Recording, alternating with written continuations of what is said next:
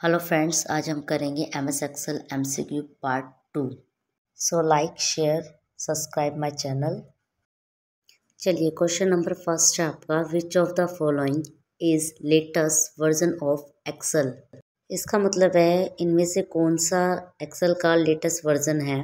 तो आपको चार ऑप्शन दिए गए हैं। इनमें से जो बिल्कुल राइट आंसर है, वो है आपका बी दो हज़ार उन्नीस। चलिए आपका सेकंड क्वेश्चन है। Excel files have a default extension of इसका मतलब है एम एस एक्सेल की जो डिफ़ॉल्ट फ़ाइल होती है, उसका एक्सटेंशन क्या होता है? आपको जो है चार ऑप्शन दिए गए हैं और इसमें आपका बिल्कुल राइट आंसर जो है, वो है B dot X L S X ये हम जो भी अभी तक का लेटेस्ट वर्जन यूज़ कर रहे हैं 2007 से लेके 2019 तक, उसका एक्सटेंशन आपका यही होगा। लेकिन देखिए, अगर आपसे M S Excel two thousand three file का एक्सटेंशन पूछा जाए एम एस एक्सल का तो उसका जो आपका बिल्कुल राइट आंसर होगा, आपको जो है चार ऑप्शन दिए गए हैं। इसमें आपका जो बिल्कुल राइट आंसर होगा, वो है B dot X L S आपका जो है, इसमें इम्पोर्टेंट ये है कि टू थाउज़ेंड थ्री में आपका डॉट एक्स एल एक्स था, और फिर उसके बाद जो आपका टू थाउज़ेंड सेवन के बाद dot X L S X लग जाएगा क्वेश्चन नंबर आपका जो है फोर्थ है हाइपरलिंक कैन बी हाइपरलिंक आप कहाँ पे क्रिएट कर सकते हैं? तो आपको जो है इसमें चार ऑप्शन दिए गए हैं।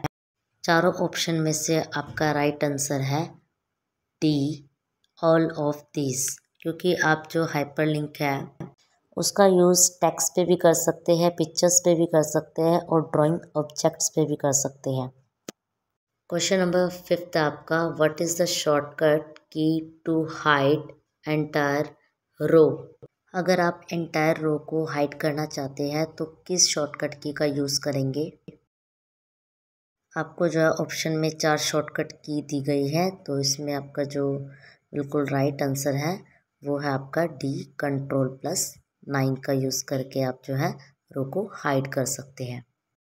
अब आपका नेक्स्ट क्वेश्चन है six what is the shortcut key to hide entire column अब आपसे पूछा गया है एंटायर कॉलम को अगर आप हाइड करना चाहते हैं तो कौन से शॉर्टकट की यूज़ करेंगे? इसमें भी आपको चार शॉर्टकट की दी गई है।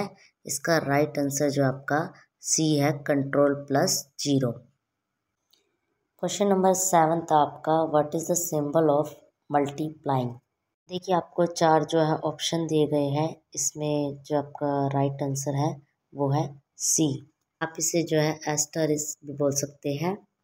नेक्स्ट क्वेश्चन आपका which of the following is not a term of M S Excel इनमें से कौन सा टर्म है जो एम एस एक्सल में नहीं आता है? आपको जो है ऑप्शंस दिए गए हैं। इनमें से आपका बिल्कुल जो राइट right आंसर है वो आपका जो है होगा सी डॉक्यूमेंट आपका राइट आंसर है। नेक्स्ट क्वेश्चन आपका a collection of worksheet is called आपकी जो है वर्कशीट के कलेक्शन को कहते हैं। आपको चार ऑप्शन दिए गए हैं। इसमें से राइट आंसर आपका सी वर्क बुक आपका जो है नेक्स्ट क्वेश्चन है how many sheets are there in Excel workbook by default. इसका मतलब है कि एक्सेल की जो आपकी वर्कबुक होती है, उसमें जो आपको बाय डिफ़ॉल्ट कितनी शीट पहले से ही होती है ओपन आपको जो है चार ऑप्शन दिए गए हैं। इसमें आपका बिल्कुल राइट आंसर है। वो है बी थ्री नेक्स्ट क्वेश्चन आपका to minimise the currently selected window अगर आपने जो है सिलेक्टेड विंडो को मिनिमाइज़ करना है तो आप क्या प्रेस करेंगे? आपको जो है, आपके क्वेश्चन के अकॉर्डिंग जो है, चार ऑप्शन दिए गए हैं। तो आपका जो राइट आंसर है बिल्कुल, वो है T control plus F nine next question आपका to maximise the currently selected window press अगर आपको करंटली जो है अपनी सेलेक्टेड विंडो को मैक्सिमाइज करना है तो आप इनमें से जो है राइट आंसर आपका होगा, वो है आपका C control plus F ten question number next है आपका the main uses in Excel Excel का जो है मेन यूज़ क्या है? आपको जो है, आपके क्वेश्चन के अकॉर्डिंग जो है, चार ऑप्शन दिए गए हैं।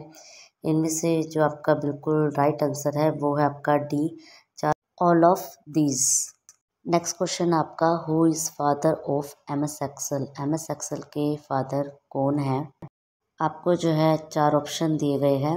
इसमें आपका राइट right आंसर है सी चार्ल्स सिमोनी अब आपका नेक्स्ट क्वेश्चन है which term is used to join the selected cell into one cell इनमें से कौन सा टर्म है जो सेलेक्टेड सेल को एक सेल में ऐड करता है।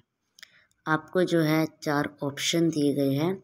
इसमें से जो आपका बिल्कुल राइट आंसर है, वो है बी आपका राइट आंसर है मर्ज